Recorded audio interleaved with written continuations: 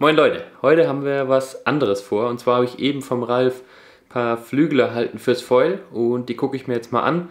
Und um die perfekt testen zu können, also es ist eigentlich quasi wie ein Labor, gehe ich jetzt nach Norderstedt auf die Wakeboard-Anlage und ich nehme euch da einfach mal mit. Und ich gucke mal, ob ich da vielleicht ein bisschen was für euch rausfinde, wie man so einen Flügel am besten testen kann, auf was man achten kann und ob sich das generell eignet, um so ein Foil zu testen. So. Die ganzen Lumex-Objektive kann ich erstmal da lassen, aber GoPro brauche ich. Yes. Okay. Wetter ist truly on point. Fängt gerade an zu regnen und zu stürmen, also genau richtig, um ein bisschen Platz an der Wakeboard-Anlage zu haben. Äh, ich hoffe, es wird nicht allzu grau, dass wir auch ein paar ganz witzige Aufnahmen kriegen, aber das sollte schon passen. Geilo! So Leute, ich sag's euch ganz ehrlich, das ist ja schon ein bisschen komisch als äh, Foiler. Also erstmal Kitesurfer und dann auch noch Foiler hier zu den Wakeboardern zu gehen. Da gibt es auf jeden Fall Leute, die einen wärmer willkommen. Und äh, meine ich gar nicht böse, aber man wird auf jeden Fall hier ein bisschen komisch angeguckt, wenn man mit dem Foil auftaucht. Aber was hier in Norderstedt super geil ist, du hast hier wirklich so choppy Water hier hinten in der Ecke, gerade wenn es so ein bisschen windig ist wie jetzt. Und ähm, du fährst halt mit dem Foil wie auf einem fliegenden Teppich und das macht echt richtig, richtig Laune. Und ich gucke mir jetzt mal an, was der Flügel hier kann, vergleiche das mit den anderen Flügeln, die ich dabei habe. Obstacles sollte man besser nicht mitnehmen mit dem Foil, aber so ist es auf jeden Fall eine sehr witzige Sache.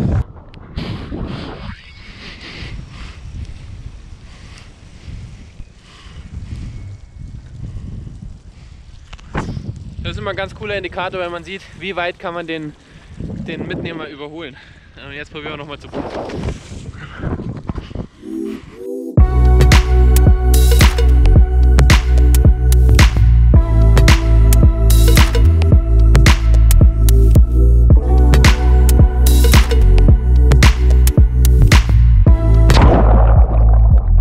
Du kennst ja dieses, wenn Leute anfangen zu vollen, dann ist es immer erstmal so ein Delfin, nennt man das auch irgendwie im Fachjargon. Und das ist eben genau der Punkt. Ne? Das Foil fährt, hat Auftrieb, geht hoch und dann reißt dieser Auftrieb oftmals ab, dadurch klatscht es wieder runter, dann kommt irgendwie wieder ein bisschen Geschwindigkeit dazu, das fängt sich wieder, wird wieder umströmt, erzeugt wieder Auftrieb, geht wieder hoch. Und das ist eben genau das, was wir probieren möchten zu unterbinden, dass das Foil quasi so einen speziellen Punkt hat, den man genau treffen muss, sondern ein Foil, was da gutmütiger ist und was eben nicht so einen krassen Punkt hat, sondern der sich ankündigt, den man besser erfahren und äh, spüren kann, das ist eben viel wert am Anfang. Und genau das testen wir in der Wakeboard-Anlage und genau das kannst du eben auch testen an der Wakeboard-Anlage. Der nächste Tag, ich bin schon auf dem Weg nach Sylt. Ich sitze hier gerade, liege hier gerade hinten in meiner V-Klasse drin und warte, dass der Zug endlich kommt. Ist ein wunderschöner Sommertag.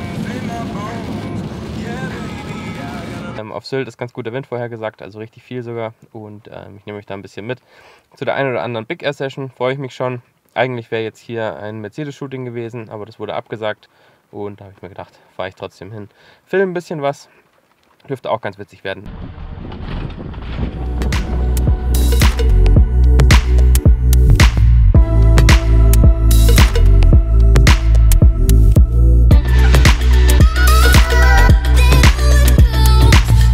Wir haben direkt hier unser Haus, müssen jetzt wirklich nur einmal über die Düne rüberlaufen und können direkt starten.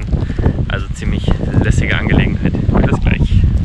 Dann würde ich vorschlagen, gucken wir uns mal an, ob hier genügend Wind ist. Kleiner Test.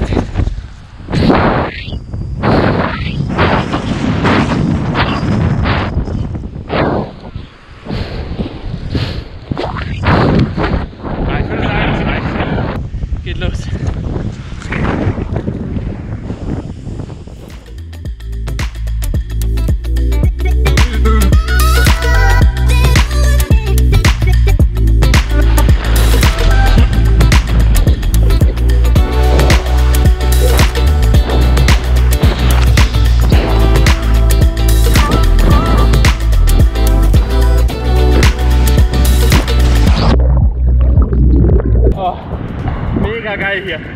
Wenn es geht, probiere ich jetzt mal eine vierfach Rückwärtsrotation. Schauen wir mal, ob ich die irgendwie reinkriege.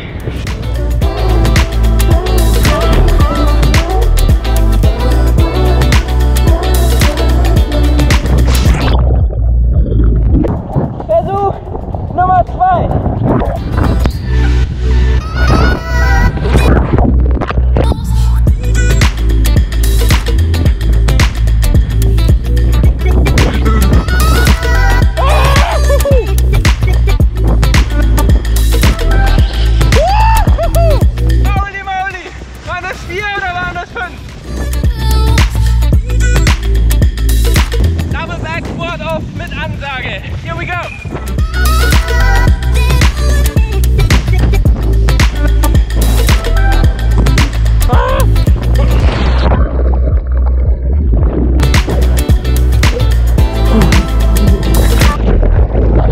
probiere es nochmal.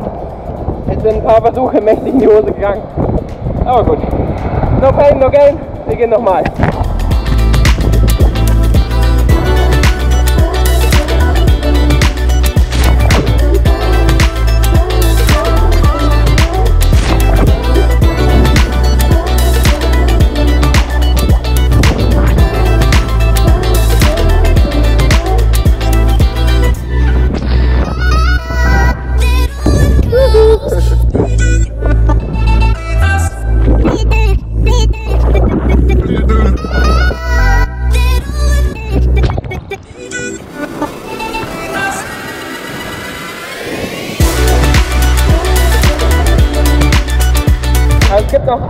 Das habe ich immer geliebt, wenn wir bei, äh, bei Taiba Downwinder gemacht haben. Und zwar, du springst in einer Welle ab und probierst in derselben Welle wieder zu landen. Ich gucke mal, ob ich das heute hinbekomme. Aber das war immer mega geil, weil man den Schirm dabei ganz weit nach hinten stellen musste, komplett in den Freefall gegangen ist und sich erst in letzter Sekunde wieder fangen lassen durfte. Ich guck mal.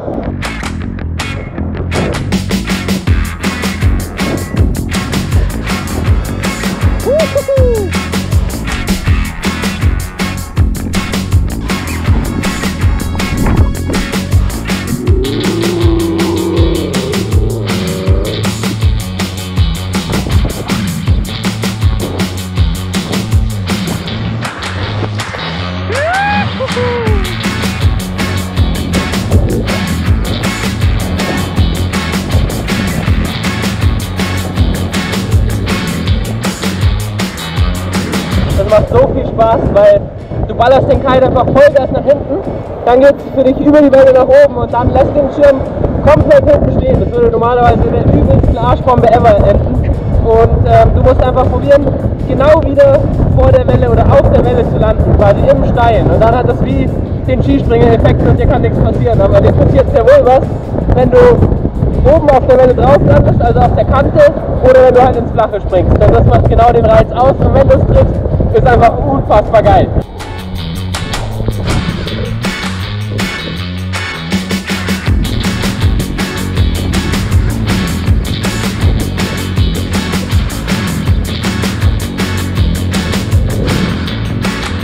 Hey, halt stopp! Wenn du das Video bisher geschaut hast, einmal noch kurz den Like-Button rausschallern und wenn du es noch nicht getan hast, meinen Kanal abonnieren, freue ich mich sehr, hilft mir und du verpasst nichts mehr.